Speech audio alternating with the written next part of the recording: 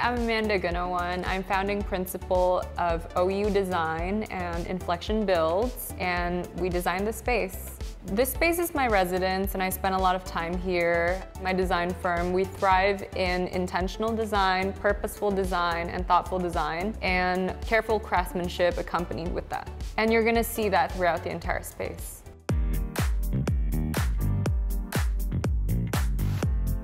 The first stop on our tour is this guest bedroom. It doesn't look like a guest bedroom because the futon is actually stored under here, and this serves as a platform bed if I have a guest around. So what drew me to this loft was the natural light. On top of that, I saw the potential in being able to use colors and materials to kind of unify the space. Things like these Akari lights, they're like paper lanterns. The softness about it goes with the light colored wood that I picked out for this space. It evokes like a sense of like tranquility.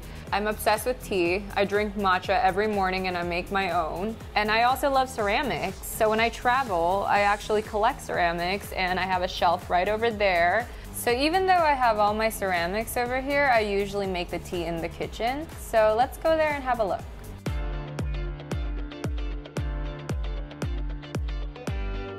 The kitchen was designed according to my lifestyle. I wanted a huge counter over here because I'm a big sushi fan and I wanted something where I could easily serve sushi, kind of like a bar.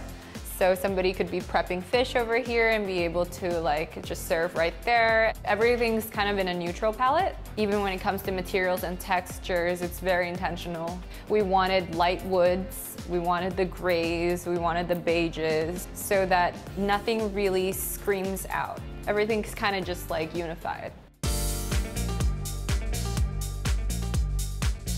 The living room is the heart of the home and it keeps everything connected. Again, not only does it get the nicest natural lighting, it's also the largest space volumetrically.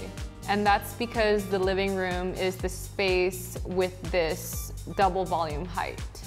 This particular style of lights, they're from Flos, and I really like them because I'm allowed to really sculpt the entire ceiling, kind of like an art piece. So believe it or not, this building actually used to be the Nabisco Biscuit Company. The challenge for me was how do I soften the bedroom area given the industrial ruggedness of this building? So let's go upstairs and have a look.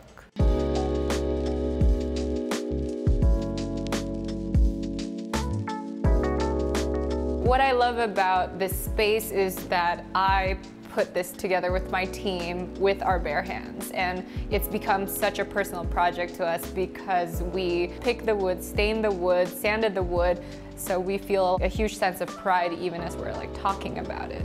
I really love my books, so I made sure to create a lot of shelving. I wanted them to be seen from my bedroom. Waking up here every morning feels very calming. It feels like you're waking up in a hotel.